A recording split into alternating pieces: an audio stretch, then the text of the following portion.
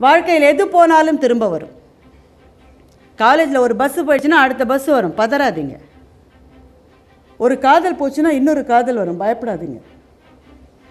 இதெல்லாம் வந்து அபூர்வமானது. வாழ்க்கையிலேயே யாருக்கும் கிடைக்காததெல்லாம் ஒரு காதலும் கிடையாது உலகத்தில். ஒன்று போனால் இன்னொன்று வரும். It's okay especially for boys நான் உங்களுக்கு சொல்ல விரும்புறது என்னுடைய தம்பிகள் மாதிரி உங்களை நினச்சி நான் சொல்ல விரும்புறது ஒரே ஒரு விஷயம்தான். நீங்கள் நினைக்கிற ஒரு பெண் ஒருவேளை உங்களை அலட்சியப்படுத்தி விட்டால் சந்தோஷப்படுங்கள். அவளுக்கு அதிர்ஷ்டம் இல்லைடா மச்சா அவ்வளோதான் அவ்வளவுதான்.